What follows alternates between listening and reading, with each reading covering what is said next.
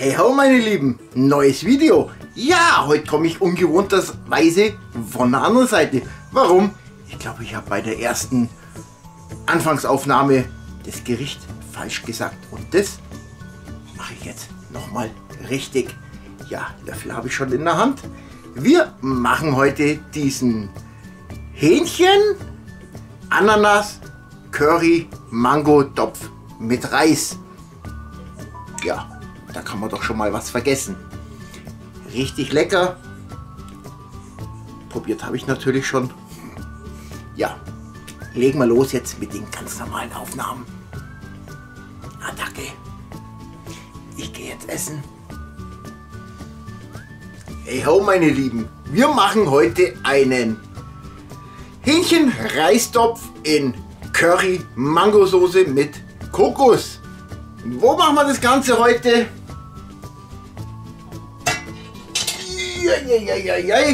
In diesem wunderschönen FT6 vom Petromax ohne Füße, den mir äh, www Sicherstadt zur Verfügung gestellt hat, in der Küche. Richtig Leute, wir tun heute Indoor-Topfen. Warum tun wir Indoor-Topfen? Mich hat ähm, ein Fan angeschrieben und hat gesagt, er hat nicht die Möglichkeit für draußen und und und. Habe ich zurückgeschrieben, gar kein Problem.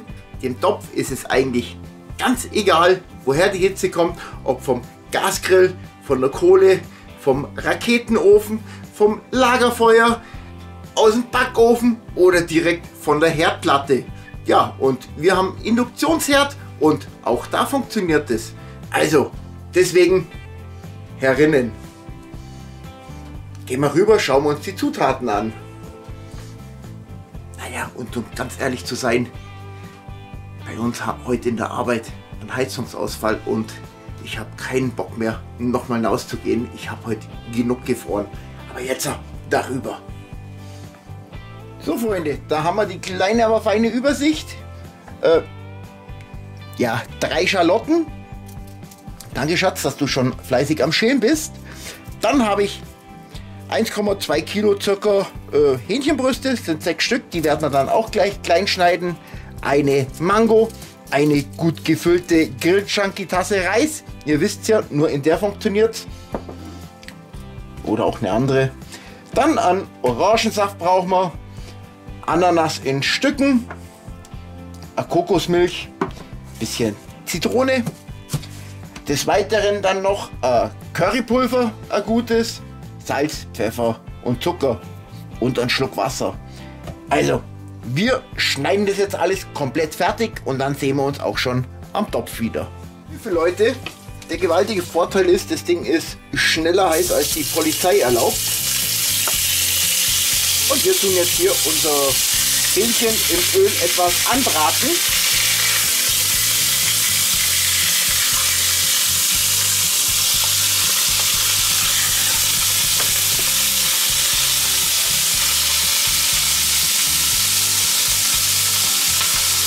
Dunstabzug muss ich hier herin natürlich anmachen. Deswegen Hintergrundgeräusch. Aber man sieht schon, geht auch auf dem Herd wunderbar. Erste Ladung soweit angebraten. Kriegen wir sie wieder raus. Ja, ein paar schöne Röster rum sind auf alle Fälle dabei. Das reicht schon.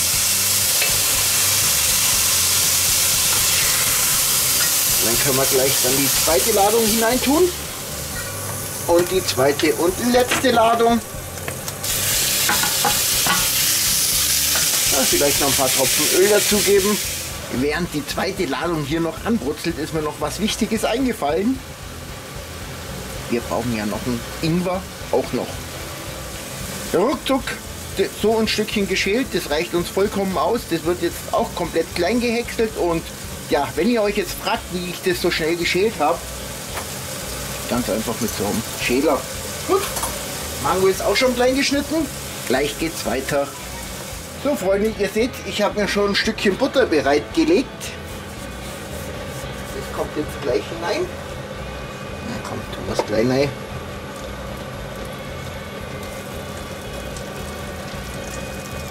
Und hier drin tun wir jetzt die Schalotten und den Ingwer gleich ein bisschen anschwitzen. Wenn jemand noch Chili mit hinein möchte, kann er das hier auch gerne tun. Die wird dann auch mit angeschwitzt. Wir verzichten darauf.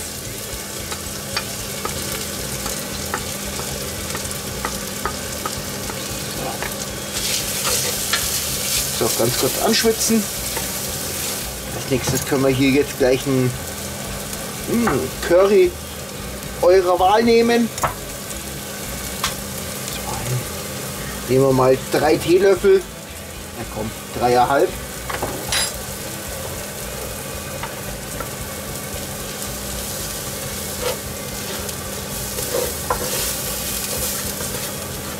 Kokosmilch. Dann die gleich mal die Kokosmilch ordentlich aufschütteln.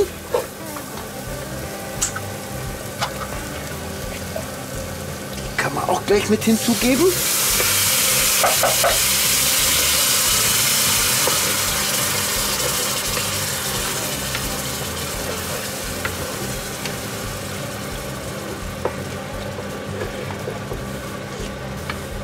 Wir brauchen ja viel Soße, das wird ja ein One-in-All-Gericht oder All-in-One-Gericht wieder. Dann ungefähr dieselbe Menge an Orangensaft und nochmal dieselbe Menge erstmal an Wasser.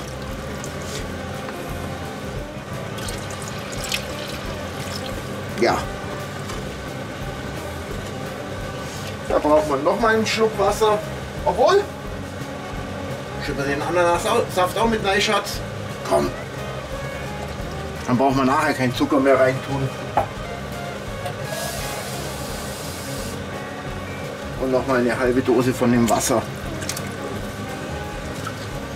Dann tun wir das Ganze unterrühren, leicht aufköcheln. Jetzt hätte ich fast unsere, unsere Zitrone vergessen.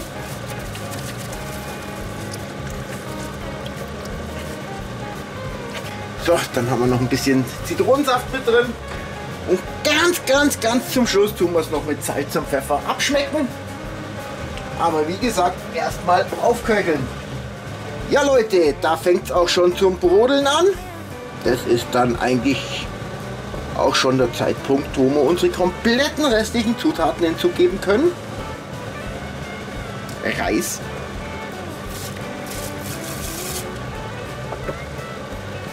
Mango und Ananas. Habe ich das eigentlich am Anfang vom Video gesagt? Äh, Ananas äh, Hähnchentopf? Ach, keine Ahnung. Zumindest steht es dann am Schluss in der Beschreibung drin.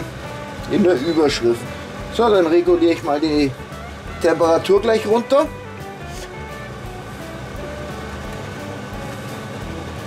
Und dann tun wir unser angebrutzeltes Hähnchen auch gleich mit hinein. Möglichst ohne dass wir hier was vollspritzen.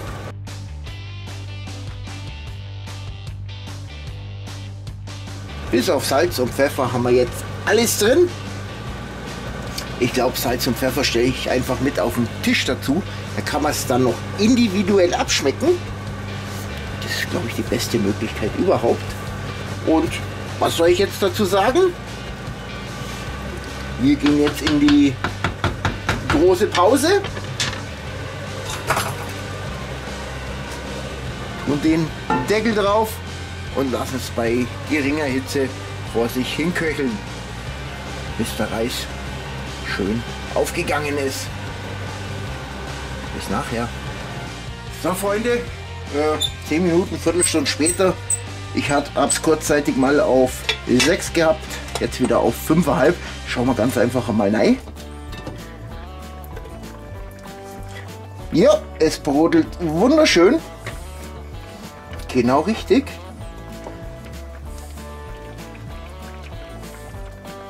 Ja, der Reis braucht definitiv noch ein bisschen.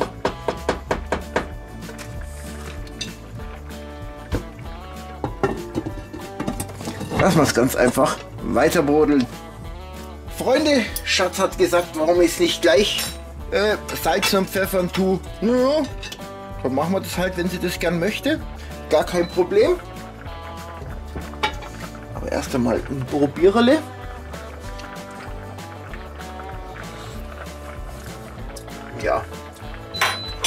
kann auch noch ein Curry hinzu. Definitiv.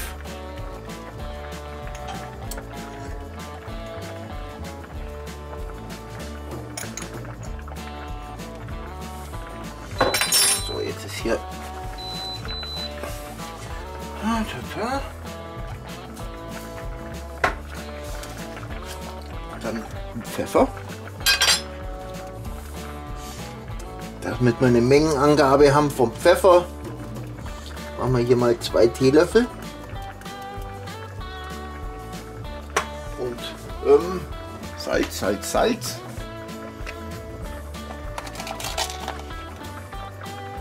Auch noch mal zwei.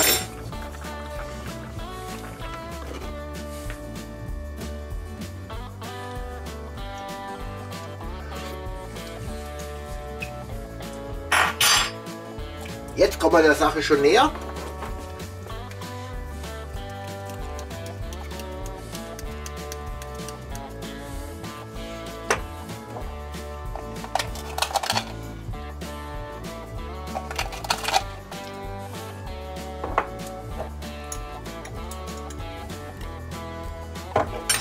Ihr habt mitgezählt, wie viel Salz, Pfeffer und Curry das jetzt insgesamt war.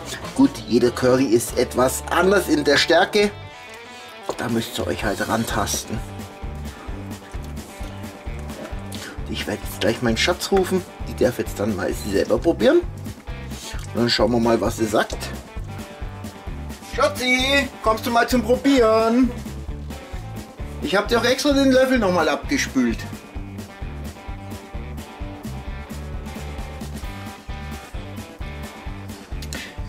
Leichte Schärfe hat aber nur eine klitzekleine.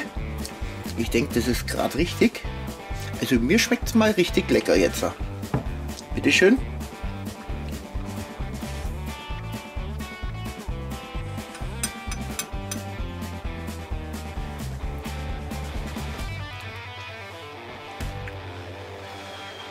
Wir sind gespannt, die Spannung steigt. Der Löffel wird zum Mund geführt.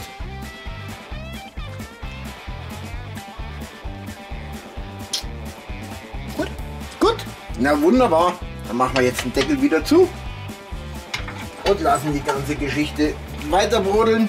Ein bisschen Ingwerlastig, Hm, Das finde ich jetzt gar nicht. finde ich schon. Ich habe ja noch eine Zitrone auch noch reingepresst. Jetzt lass es erstmal fertig köcheln. Dann probieren wir's. Ja, Freunde. Ich habe vorher gerade den Deckel geöffnet, um nochmal zu gucken. Und ich würde sagen, das ist fertig. Na, dann Schöpfkelle an mich noch. Nehmen wir uns doch gleich einmal was. Jo, und da ich am Anfang falsch gesagt habe, glaube ich, mache ich jetzt das Intro nochmal. Also ihr wisst jetzt, an welcher Stelle das Intro aufgenommen wurde. Gut, und Probiererle gibt es natürlich auch gleich. Ja, hey, die Aufnahme fertig. Dann können wir jetzt das richtige Probiererle machen. Also ich war ja früher nie für Mango zu haben. Ich weiß gar nicht warum. Das Zeug ist lecker. Erst einmal ohne Hähnchen.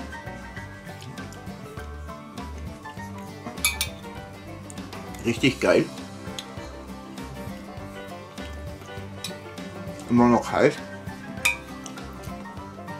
Aber sehr fruchtig.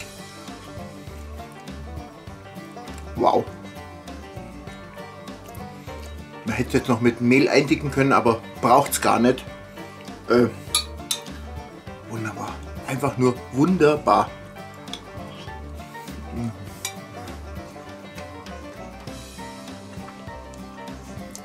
Leute, ich esse jetzt mit meinem Schatz und danach sehen wir uns nochmal zum Gesamtfazit. Obwohl von mir habt ihr es ja schon gehört. Ja, wir sehen uns nachher nochmal. Ja Leute, wie könnte es auch anders sein, wenn ich beim Fazit nicht noch ein Aber hätte? Mein Aber, ich habe die Sahne vergessen. Ich woll wollte eigentlich am Anfang die Sahne gleich mit rausstellen, hab's aber total vergessen und zum Schluss habe ich die Sahne jetzt komplett vergessen gehabt. Aber der Schatz hat dran gedacht. Die Schaufel, die schaufelt gerade richtig. Also ich glaube, ich habe mal wieder richtig lecker gemacht. Oder Schatz? Schmeckt sehr gut. Aber, aber Ingwerlastig. ist Also ein bisschen Ingwerlastig. Leute, passt ein bisschen auf mit dem Ingwer. Ja. Wer Ingwer gerne isst, kein Problem. Also mir ist es fast zu viel Ingwer. ja, Aber schmeckt immer noch genial. ja, trotz zu viel Ingwer ein super Ergebnis. Und Leute, ihr habt es gesehen. Ihr könnt auch mit so einem Topf ohne Füße in der Küche arbeiten. Dafür muss ich wirklich nochmal tausend Dank an www.sicherstadt.de sagen. Ohne die hätte ich jetzt dieses Video so gar nicht machen können. Gut, das war's aber jetzt. Genug der Werbung. Und was soll ich sagen? Nachmachen, ausprobieren, selber schlemmen. Leute, wir sehen uns. Ciao.